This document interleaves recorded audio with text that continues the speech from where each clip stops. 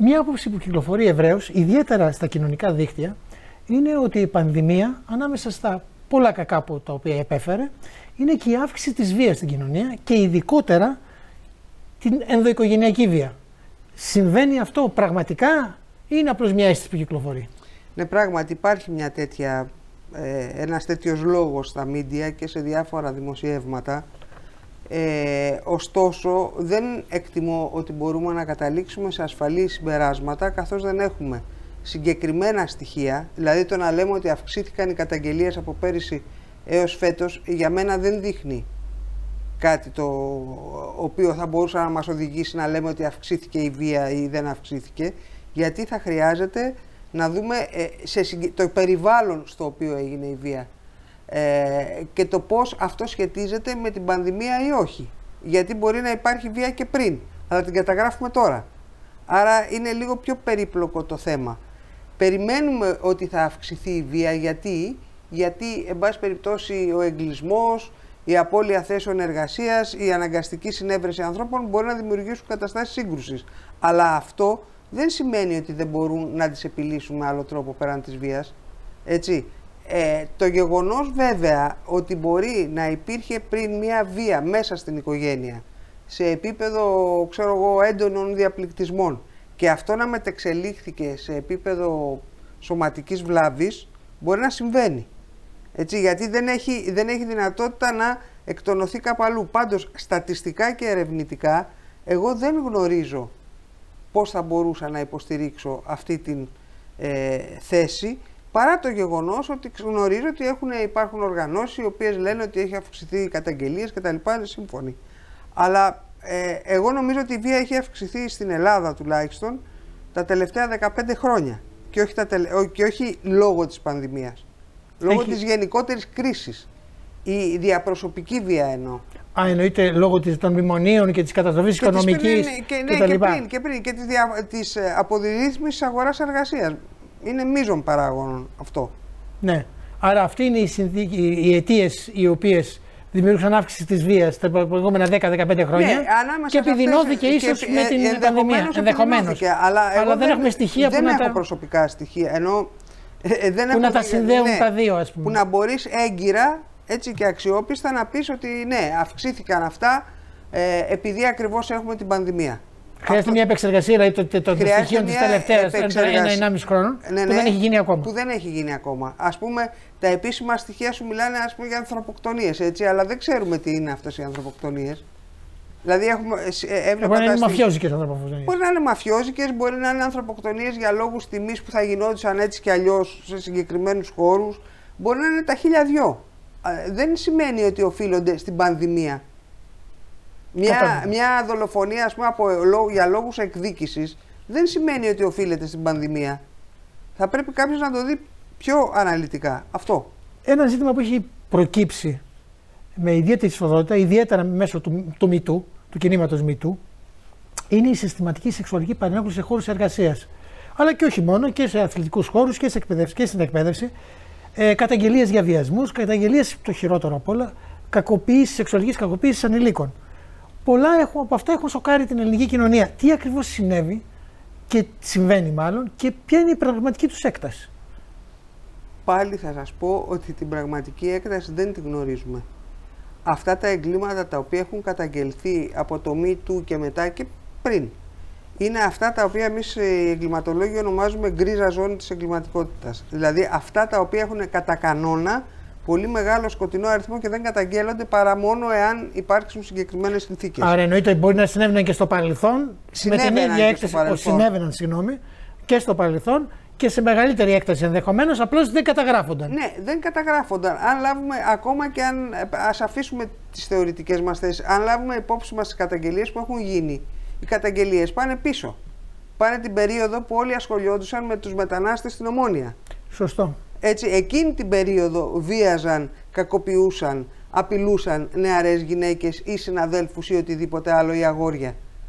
Άρα πρόκειται για ένα φαινόμενο το οποίο έρχεται από παλιά και έφτασε σήμερα να εκδηλωθεί και να αρχίσουν να, να μιλάνε τα θύματα. Τι μας δείχνει όμως αυτό το φαινόμενο, αυτό είναι το σημαντικό κατά τη γνώμη μου, ε, πέρα το, ότι, το τι θα μπορούσαμε να κάνουμε από εδώ και μπρος, μας δείχνει όμως μια κοινωνία σε βαθιά κρίση. Μια κοινωνία η οποία συγκαλύπτει. Δηλαδή η συγκάλυψη ήταν μέρος των κοινωνικών σχέσεων, το οποίο δεν το έχουμε αναλύσει. Διότι δεν μπορεί να συνέβαιναν όλα αυτά και να μην Και προ-κορονοϊού και προ-μνημονίων. Ναι, ναι, ναι. ναι, ναι, ναι φαινόμενα ναι, ναι, δεκαετιών. Ναι, είναι ναι, βέβαια. Της πλασματικής, αν θέλετε, ανάπτυξης της ισχυρής Ελλάδας κλπ. λέω για την περίοδο, εγώ θεωρώ. Σημεί την, την περίοδο αυτή της ισχυρής Ελλάδας, της μεγάλης Έτσι, αυτά λοιπόν δεν μπορεί να μην ε, αντιλαμβανόταν κανένας τίποτα. Ή οι άνθρωποι που ήταν κοντά σε δράστες και θύματα. Άρα εδώ έχουμε να κάνουμε με διαδικασίες συστηματικής συγκάλυψης, τις οποίες, για να πούμε και την άλλη πλευρά, ε, πράγματι δεν είναι εύκολο κάποιος να καταγγείλει. Είτε αυτός παρίσταται ως μάρτυρας σε ένα περιστατικό, είτε το γνωρίζει εξακοής κτλ. Δεν είναι εύκολο. Αλλά παρόλα αυτά δεν, υπάρχει, δεν υπάρχουν και οι θεσμοί για να καταγγείλει. Δεν υπήρχαν οι θεσμοί για να καταγγείλει και δεν υπάρχουν ακόμα. Έτσι, το να πας στο χαμόγελο του παιδιού ή να πας ε, σε μία ΜΚΟ ή οτιδήποτε άλλο, δεν λύνει στο θύμα το πρόβλημα, δεν λύνει και στον γείτονα το πρόβλημα. Διότι ε, από εκεί μπαίνει σε μια ιδιαίτερη διαδικασία που θέλει ιδιαίτερες συνθήκες. Και είναι ένα ζήτημα ιδιαίτερα λεπτά, ε, λεπτό για την ελληνική κοινωνία ως προς την αυτογνωσία της, γιατί αποδομεί πραγματικά στερεότυπα ε, πολλών δεκαετιών. Του καλού γάμου, του το επιτυχημένος είναι αυτός ο οποίος βγάζει λεφτά, που έχει κοινωνικό στάτους. Και αποδεικνύεται ότι οι εγκληματίε. Μπράβο ήταν της μεσαίας τάξης και της ανώτερης μάλιστα μεσαίας τάξης.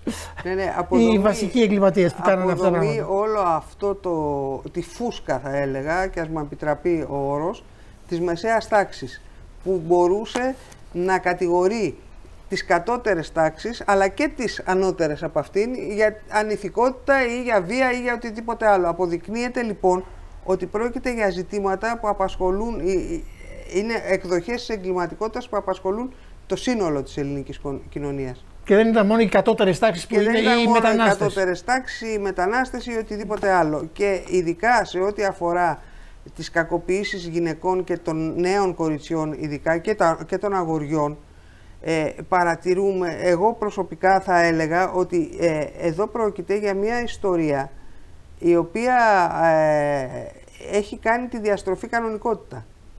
Μπράβο. Ναι. Έτσι, έτσι, είναι. Και, έτσι και αυτό γινόταν αποδεκτό από κάποιους κύκλους. Διότι δεν είναι η κοσάρα, η γυναίκα, η οποία είναι αρή γυναίκα. Όταν έχεις να κάνεις με έφηβους, το πράγμα αλλάζει άρδιν. Και όχι ότι στα 20 ε, δεν αλλάζει έτσι, δεν συζητώ αυτό, αλλά εδώ έχουμε να κάνουμε με πολύ μικρές ηλικίες. Η κακοποίηση ορισμένες... και ανδρών και γυναικών στο θέατρο είναι και σε μεγαλύτερη ηλικία. Και στο θέατρο από Και ήταν καθεστώς από ό,τι φαίνεται. Και από ό,τι φαίνεται και η κακοποίηση όχι μονάχα η σεξουαλική, αλλά και στην, στο, χώρο του, αθλη, στο χώρο του αθλητισμού. Είχαμε και ε, σχέσεις οι οποίες ήταν σχέσεις δουλείας.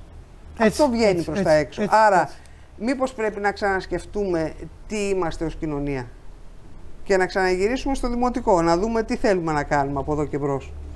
Νομίζω, γιατί δεν έχει νόημα να, να βγαίνουμε και να μιλάμε για ποινές και να αυξηθούν οι ποινές. Και τι θα γίνει που θα αυξηθούν οι ποινές. Δεν θα αλλάξουν ούτε τα θύματα. Αυτό είναι ένα θέμα να το πιάσουμε στην ναι, ναι, παρακάτω, ναι, ναι, γιατί έχει σημασία μεγάλη πράγμα. Έχει πολύ σημασία και θα το πιάσουμε ιδιαίτερα. Πριν πάμε σε αυτό, έχει έρθει με πολύ σοβαριστικό τρόπο ε, στην επικαιρότητα περιπτώσεις ανθρωποκτονιών που αφορούν γυναίκες από συζύγους τους, πρώην συζύγους ή από εραστές. Ε, η ερώτηση είναι, είναι εκτεταμένο το φαινόμενο δολοφονίες γυναικών; Όχι. Στατιστικά δεν είναι. Δεν είναι στατιστικά. Στατιστικά δεν είναι. Τώρα. Πόσοι ε, φόνοι γίνονται στην Ελλάδα, δηλαδή, στατιστικά. Δεν μπορεί να το ξέρετε αυτό. Αν είναι, ε, σας, ας πούμε, σας έλεγα και προηγουμένως, ε, σύμφωνα με τα στατιστικά της αστυνομίας που είναι αυτά τα οποία παίρνουν ως επίσημες στατιστικές, έτσι, ε, για το 2020 διαπράχθηκαν 81 ανθρωποκτονίες. Μέσα σε αυτές είναι διάφορες κατηγορίες ανθρωποκτονιών δεν μπορείς να ξέρεις, γιατί εδώ μπαίνει ένα άλλο ζήτημα. Επίσημα δεν μπορείς να ξέρεις αν αυτές είναι γυναικοκτονίες ή παιδοκτονίες ή οτιδήποτε άλλο. Καταγράφονται ως ανθρωποκτονίες. Και άρα υπάρχει μια συσκότηση που δεν λέω εγώ ότι είναι σκεμμένη ή κάποιος το κάνει επίτηδες, αλλά υπάρχει αδιαφορία για το να μάθουμε επισήμως Το αν θα πάρω εγώ να κάνω μια έρευνα στο αμφιθέατρο ή έξω στο δρόμο ή κτλ.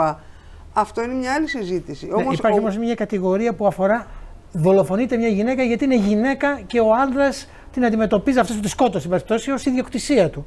Αυτό ναι, είναι, είναι, είναι ιδιαίτερος τύπος. Δεν είναι γιατί είναι γυναίκα, γιατί είναι η γυναίκα του. Η γυναίκα του, μπράβο αυτό. αυτό. Η ιδιοκτησία ή, του. Η κόρη του. Ή η κόρη του. Είναι η ιδιοκτησία του. Έτσι, άρα είναι η ιδιοκτησία του. Ναι. ναι. Αυτό, οι σχέσεις, οι ιδιοκτησιακές σχέσεις, είναι παραδοσιακή πατριαρχική αντίληψη.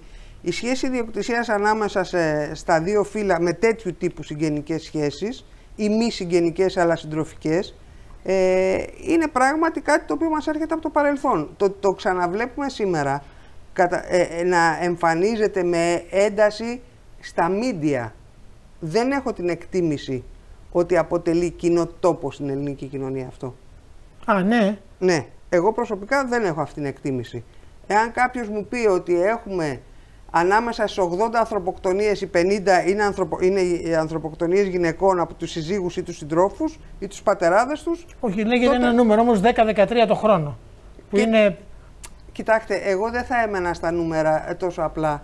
10-13 το χρόνο και τι θα πει αυτό; Στο σύνολο πόσων; Αν μπούμε στη στατιστική ανάλυση των πραγμάτων αυτών, των γεγονότων αυτών, θα δείτε ότι επειδή ποσοτικά το μετράμε τώρα. Έτσι, διότι το ποιοτικό, δηλαδή το τι νιώθουν αυτοί οι άνθρωποι, τι έχουν ζήσει τα θύματα, το περιβάλλον, είναι κάτι το οποίο δεν μετριέται.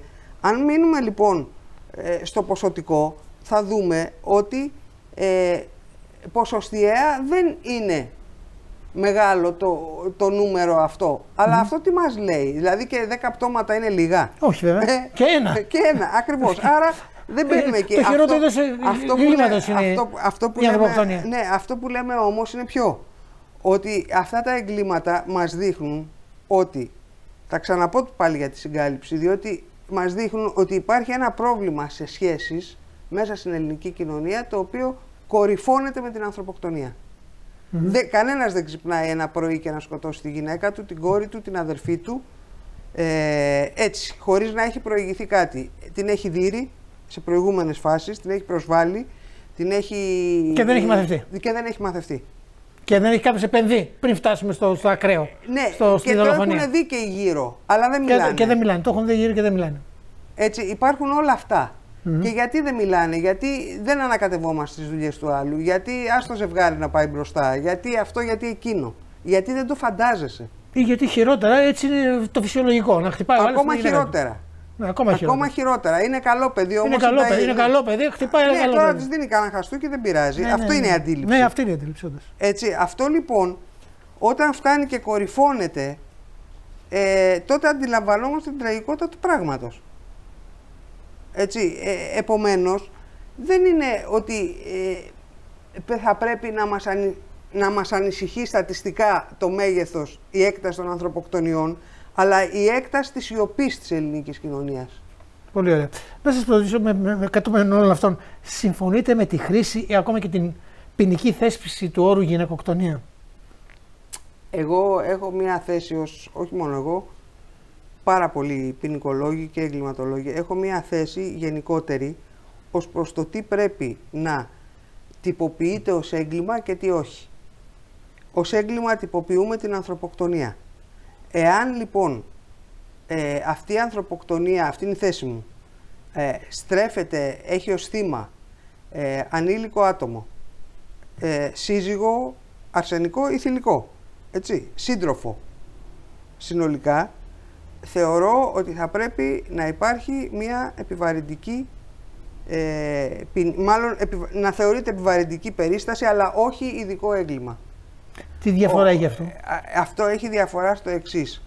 Ότι η ομπρέλα ε, του εγκλήματος, του συγκεκριμένου εγκλήματος, έτσι, είναι η ανθρωποκτονία. Το ένομα αγαθό το οποίο ε, προσβάλλεται είναι η ζωή.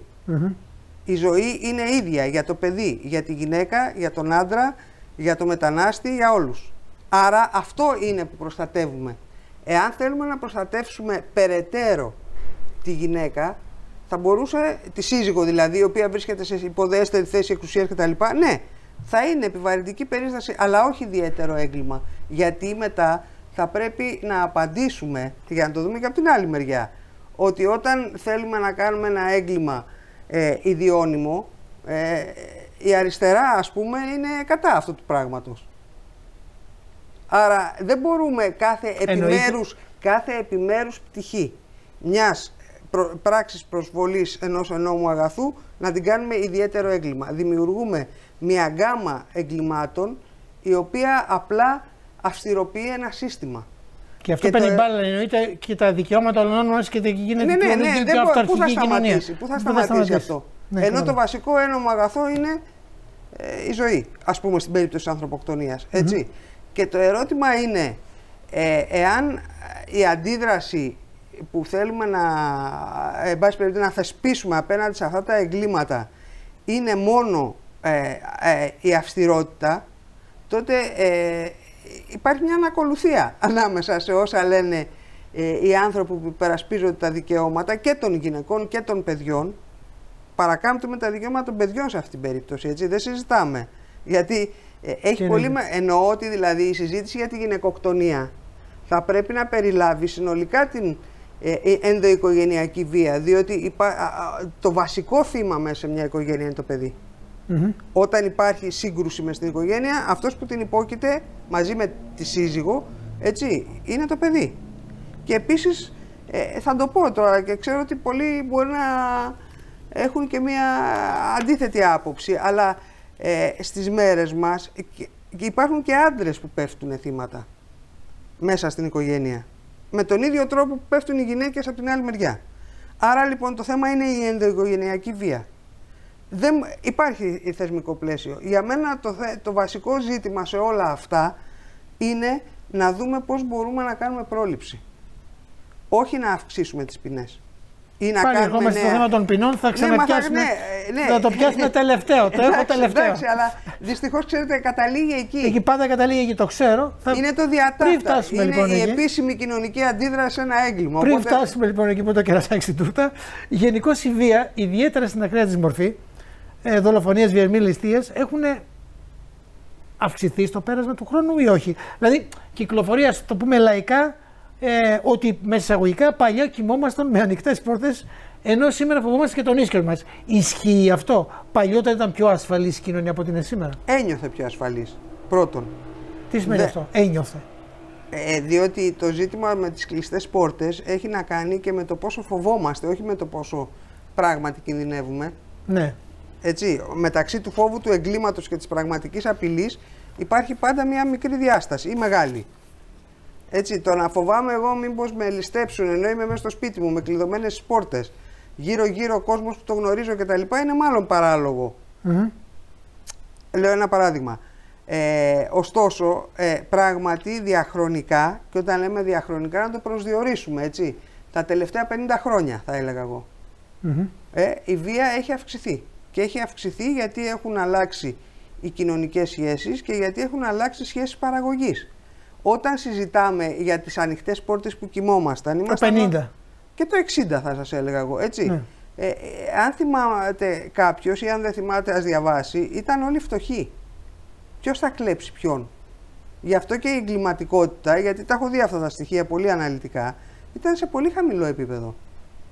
Να φαντα... οι πρώτες η πρώτη ληστεία τράπεζας ουσιαστικά, ξέρετε ποια ήταν, η ληστεία που είχε κάνει ο Βερνάρδος. Άντε, το 70, επί Ναι, ναι, ναι, ναι, ναι. Ληστεία τράπεζας, λέμε επαγγελματικού τύπου. Έτσι. Χούντας δεν ήταν. Επί ναι. ήταν, ναι, ναι, ναι, ναι. Λοιπόν, ε, αυτό είναι αυτό που θυμόμαστε. Στην Αμερική τώρα... από το 30, το 20. Γιατί, γιατί υπήρχαν διαφορετικές οικονομικές και κοινωνικές σχέσεις και κυρίως οικονομικές. Ναι, ναι, Εδώ λοιπόν, έχοντας ένα ε, κοινωνικό πλαίσιο στατικής φτώχειας, δεν υπήρχε αυτός ο ανταγωνισμός. Αργότερα άλλαξαν τα πράγματα. Αυξήθηκε η βία, αυξήθηκε, αν θέλετε, άλλαξαν και οι αξίες ως κοινωνία. Έτσι και υπήρξε και μια αποδιοργάνωση της ε, αίσθησης της συλλογικότητας επικράτησε ο ατομισμός μέσα από αυτές τις συνθήκες και με, άλλα, με άλλους παράγοντες επίσης ε, αυξήθηκε η εγκληματικότητα. Αυτή είναι μια προσέγγιση. Ετσι Δεν είναι η μόνη, υπάρχουν και κάποιοι που διαφωνούν με αυτό που λέω, αλλά ε, εντάξει, υπά, υπάρχουν. Σε όλα τα θέματα υπάρχουν και άλλες. Ναι, ναι, εντάξει. Κάποιοι λένε ότι ο εγκληματίας γεννιέται. Εγώ δεν το πιστεύω αυτό και δεν έχει αποδειχθεί επίσης. Ε, Προφανώ είναι μια πολύ δεξιά άποψη και πολύ Ε, ήθελα να ρωτήσω τώρα, πάμε λοιπόν στο, στο κερασάκι της της τούρτας, που είναι η κυβέρνηση αλλάζει τον ποινικό κώδικα και μάλιστα εντός των ημερών, εστιάζοντας στη βαριά εγκληματικότητα, ε, μέσα στο οποίο είναι φόνοι, εκβιασμοί, ακόμα και την οικογενειακή βία, δηλαδή ε, χοντρής μορφής, όπου επέρχονται αλλαγές κυρίως στο πεδίο της έκτησης των ποινών. Ο σκοπός της αλλαγής του νόμου, δηλαδή του ποινικού νόμου, είναι οι παραβάτες να, μένουν, να εκτείουν μεγαλύτερο μέρος της ποινής τους φυλακή. Δηλαδή, αν κάποιος καταδικάζει στα 12 χρόνια που μέχρι τώρα στα 5 έφευγε, στα 4-5 έφευγε, τώρα να μένει μέχρι 7-8 χρόνια. Mm-hmm. Να φεύγει λιγότερο και ακόμα περισσότερο να μην ισχύουν ευεργετικά μέτρα όπως είχαν για αυτούς. Αυτό θα περιορίσει την εγκληματικότητα. Δηλαδή, η αυστηροποίηση των ποινών θα, θα περιορίσει την εγκληματικότητα. Κοιτάξτε, ποτέ δεν έχει υπάρξει ε, περίπτωση όπου η αυστηροποίηση των ποινών περιόρισε την εγκληματικότητα. Αυτό είναι αποδεδειγμένο και θεωρητικά και ερευνητικά. Στην Αμερική, για παράδειγμα, οι φόνοι δεν έχουν σταματήσει. Δεν είναι μόνο ότι οι φόνοι δεν έχουν σταματήσει. Οι φόνοι στην Αμερική έχουν μια πολύ συγκεκριμένη, ε, ε, ε, ένα πολύ συγκεκριμένο πλαίσιο μέσα στο οποίο. Δεν θα το πούμε τώρα γιατί είναι ολόκληρη συζήτηση. Ναι, ναι. Ε, μέσα στο οποίο αναπτύσσονται. Λέω όμως ότι έχουμε δει ότι όταν αυστηροποιείται η ποινική καταστολή, είτε αυτό λέγεται αστυνόμευση, είτε αυτό λέγεται αύξηση των ποινών, είτε λέγεται ε, φυλακές υψής ασφάλειας ή οτιδήποτε άλλο, δεν είναι ότι περιορίζεται η εγκληματικότητα, αλλάζει. Δηλαδή, δηλαδή δεν θα πάει ο άλλος να πουλήσει ναρκωτικά, θα πάει να κάνει hacking σε έναν υπολογιστή. Σας το λέω πολύ σχηματικά. Ναι. Έτσι, αλλάζει ποιοτικά. Θα, αυξη... θα μειωθούν παραδείγματος χάρη ληστείες, αυξάνονται οι απάτες. Άρα ε, δεν είναι λογικό να λέγονται τέτοια πράγματα γιατί είναι αντιεπιστημονικά, γιατί δεν αποδεικνύονται και γιατί ε, δημιουργούν εντυπώσεις χωρίς ωστόσο να λύνει το πρόβλημα, διότι η εγκληματικότητα είναι πρόβλημα. Και όταν λένε ότι θα αλλάξουν τον ποινικό κώδικα και θα αυξήσουν τις ποινές, για ποια εγκλήματα, για την απιστία τραπεζών τι θα κάνουν.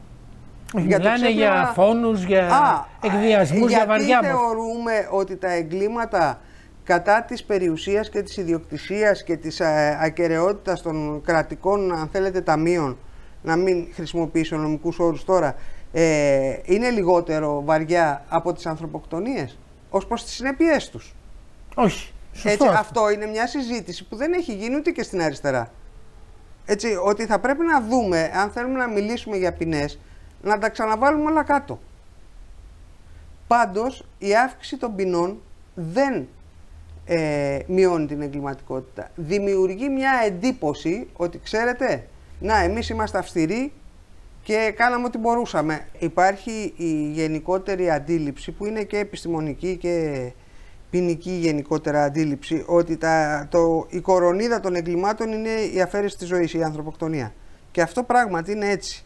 Όμως θα πρέπει κάποτε να απαντήσουμε στο ερώτημα εάν τα βαριά οικονομικά εγκλήματα, δεν είπα τώρα να γίνει μια ληστεία τράπεζας, έτσι μιλάω παραδείγματος χάρη το σκάνδαλο Siemens ή αντίστοιχα τέτοια εγκλήματα. Αυτά λοιπόν τα εγκλήματα τα οποία λύνονται ουσιαστικά μέσα από την ποινική συνδιαλλαγή, την ε, μεσολάβηση και όλες αυτές τις Πληρώνει ε, κάποιο τα, πρόσωπο τα, τα, τα εναλλακτικά μέτρα και, και, που, και που η Ελλάδα δεν έχει θεσπίσει την ποινική ευθύνη των νομικών προσώπων και αρνείται να το αρνείται. Υπάρχει άποψη ότι δεν θέλουν να κάνουν την ευθύνη των ποινικών, ε, προσω... ποινική ευθύνη ποινικών ε, νομικών προσώπων.